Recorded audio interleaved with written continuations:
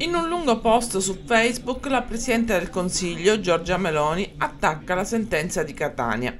Sono rimasta basita, scrive, di fronte alla sentenza del giudice, che con motivazioni incredibili rimette in libertà un immigrato illegale, già destinatario di un provvedimento di espulsione, dichiarando unilateralmente la Tunisia paese non sicuro e scagliandosi contro i provvedimenti di un governo democraticamente eletto.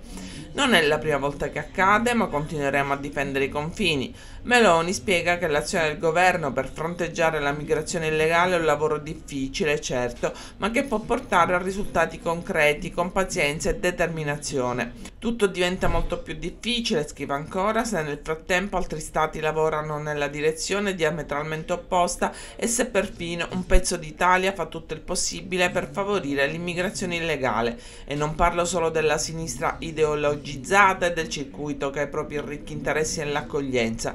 Siamo di fronte, sottolinea, ad una pressione migratoria senza precedenti dovuti all'instabilità di vaste aree dell'Africa e del Medio Oriente. Il governo italiano lavora ogni giorno per fronteggiare questa situazione e contrastare l'immigrazione illegale di massa.